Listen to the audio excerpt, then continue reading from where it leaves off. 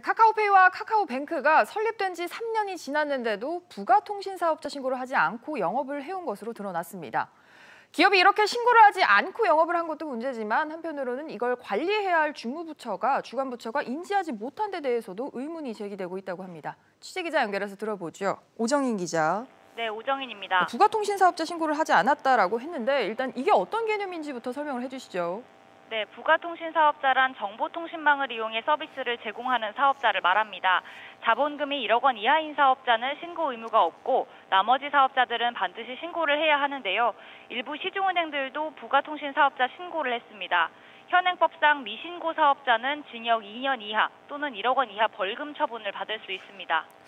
그렇군요. 뭐 벌써 3년이나 설립된 지가 지났는데 왜 이런 일이 발생을 한 겁니까? 네, 카카오페이 관계자는 전자금융업에 필요한 등록은 모두 되어 있다며 부가적인 신고 사항 중 하나가 담당자 실수로 누락된 것이라고 설명했습니다. 카카오페이는 최근 과학기술정보통신부에 부가통신사업자 신고를 했고 지난 2일 등록이 완료됐습니다. 카카오뱅크 관계자는 인터넷 전문은행으로서 금융당국이 정한 요건에 따라 은행업을 하고 있다며 신고 대상이라면 신고할 것이라고 밝혔습니다. 네, 뭐 하지만 한편으로는 이 주관부처에서 인지하지도 못했다. 이것도 의문 아닙니까?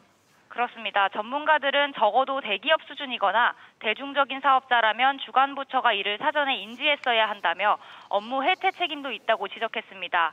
이에 대해 과기부는 이번을 계기로 금융업과 같이 국민들의 이용이 많은 분야에 대해선 협회 등을 통해 사전 안내하는 방식을 검토하고 있다고 설명했습니다.